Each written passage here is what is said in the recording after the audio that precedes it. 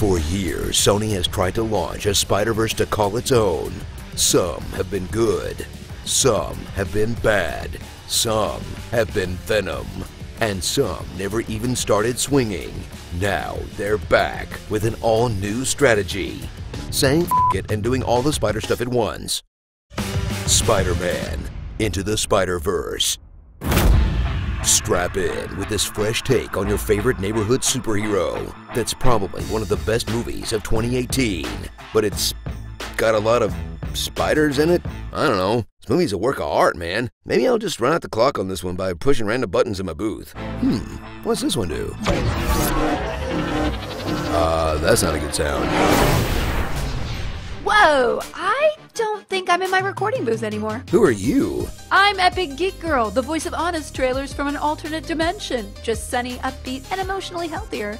And And what? That's all the explanation the movie gave. Want to team up for this one? heck yeah! Suit up for a fresh new take on the Spider Man franchise that combines jaw dropping camera work and fever dream visuals. With a multicultural hip hop fueled New York that proves Sony product placement is the one constant in the multiverse. To create a mold breaking superhero story with the meta of Deadpool and Lego Batman, Save it for Comic Con. What's Comic Con? The heart of Superman. and the visual style of Pix. Actually, this movie doesn't look anything like the animation we've gotten used to. Does every animated character in your reality do the eyebrow thing too? Yep. Uh, this booth is getting kind of crowded. Who are you three? I'm the Epic Dungeon Master, a far traveler from a distant realm who earns his keep being critical about movies. Y es yo, la voz épica de la mujer telenovela. Yo regreso el pasión a los honest trailers. G'day! I'm Australian voice guy. I'm Australian. Huh. How's that work? Boobs. Uh, That makes Yeah, sense. that works. Shall we continue this quest? let's do this. Park your Peters, because there's an all new Spider Man on the block Miles Morales. He's a relatable, sweet, nerdy high school kid that was bitten by a radioactive spider. Y destruido por la muerte de su tío y su amor por Gwen Stacy. Wait, how is he all new? This Spider Man likes Post Malone. Calling it quits now, baby. I'm a red. Oh, okay. Yeah, makes yeah, sense. completely different. But you won't want to walk a mile in his loose fitting shoes, because this spider guy doesn't just have one coming of age problem. He's got all of them.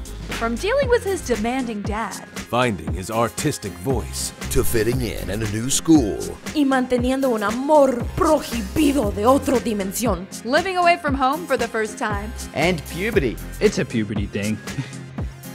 I don't know why I said that. Crikey, just so much puberty. Please stop sticking. But Miles isn't alone on his spider quest. Because plenty of spider folk are joining his party. from the hot bod version, To the dad bod version. Y Nicolas Cage haciendo el papel de él mismo. Sometimes I let matches burn down to my fingertips just to feel something, anything. John Mulaney playing himself. I just washed my hands. That's why they're wet. And one that's so anime, I'm amazed she's not licensed by Funimation. together they'll battle all new takes on classic spider bad guys. Like the chaotic neutral and completely terrifying Prowler. And the sexy cat lady version of Doc Ock. all led by the Kingpin, a tragic villain mourning the loss of his wife, his son. And his neck. Hey, don't take my punchlines in my own booth. Sorry, mate. Sorry. Ugh, this is a mess. How did the movie keep all this manageable? So take the leap with a movie that sounded like a terrible idea when you first heard about it. But ended up being so good we can't wait for more Miles. Or Gwen Stacy. Or whatever they throw at us. I'm down. Down under. Get it? I'm Australian.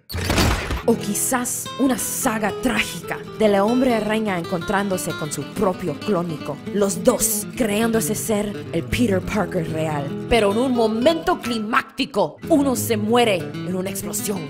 ¿Era la hombre araña real o el clónico? Except for that one. Well, guys, it's been fun, but it's time to wrap up. How do you want to do this? Starring. Well, I would watch 500 miles. Peter Piper plucked a pack of Peter Parkers. Depression sweats, depression sweats. They're as sad as things can get. Blonde recluse. Boss Baby 2099. Squiddy Woman. Jon Hamm. My Hero Academia.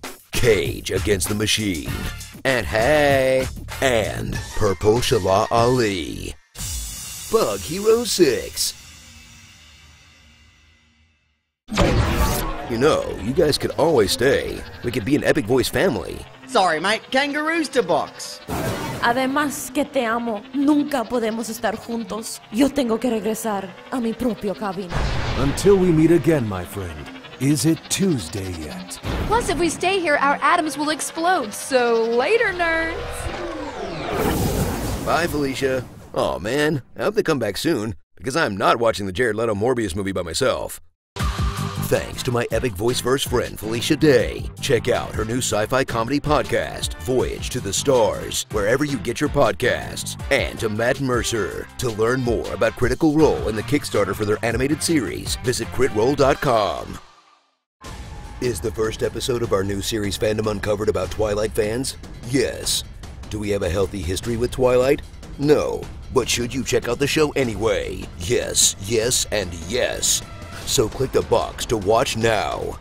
Beetlejuice, Beetlejuice, Beetlejuice. Winter is comings.